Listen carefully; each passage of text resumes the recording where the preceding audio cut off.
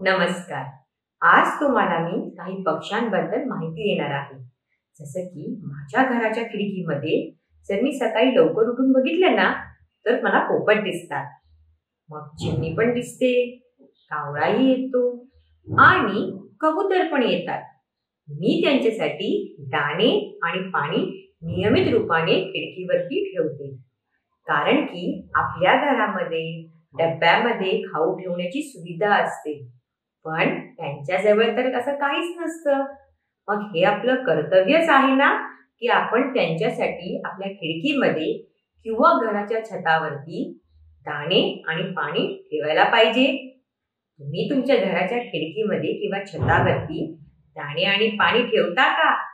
नसेल तर आजपासून ठेवायला सुरुवात करा. आणि मला सांगा की तुमच्या घराच्या छतावर किंवा खिडकीमध्ये कोणते कोणते पक्षी येतात ते? छान छान फोटोज आणि व्हिडिओज काढा. व्हॉट्सअप ग्रुपवर नक्की पाठवा.